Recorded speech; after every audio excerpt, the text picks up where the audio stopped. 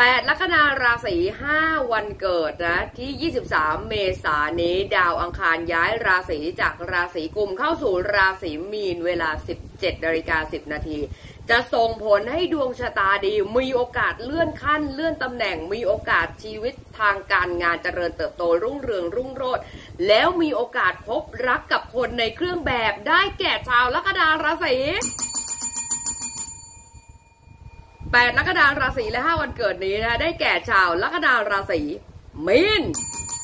ชาวลัคนาราศีกรกฎชาวลัคนาราศีมิถุน ชาวลัคนาราศีพฤษภชาวลัคนาราศีกัน ชาวลัคนาราศีพิจิก ชาวลัคนาราศีกุม ชาวลัคนาราศีมังกร และห้าวันเกิดนี้ได้แก่คนที่เกิดในวันอาทิตย์ จันทร์อังคารพระราชบดี และคนที่เกิดในวันเสาร์นั่นเองอ่าแปดลัคนาราศีและห้าวันเกิดดังที่กล่าวไปนะต้องบอกเลยดวงชะตาช่วงเวลานี้มีโอกาสเป็นดวงชะตาที่เป็นความยิ่งใหญ่ เป็นความเติบโต เป็นความรุ่งเรืองนะส่งผลให้การงานธุรกิจมีโอกาสเจริญเติบโต ก้าวหน้าเลื่อนขั้นเลื่อนตำแหน่งหรือใครนะอยากจะทำงานข้าราชการ งานรัฐวิสาหกิจหรืออะไรต่างๆ หรือที่ต้องสอบนะ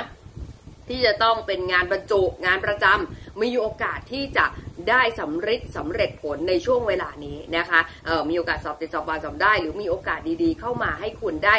เข้าใกล้นะในการบรรจุนะในการเลื่อนขั้นเลื่อนตำแหน่ง หรือเติบโตทางการงานในงานที่มีความมั่นคงนะคะหรือนะคะใครที่ทำงานอยู่แล้วอาจจะมีโอกาสว่าผู้หลักผู้ใหญ่จะเห็นคุณงามความดี หรือว่าเห็น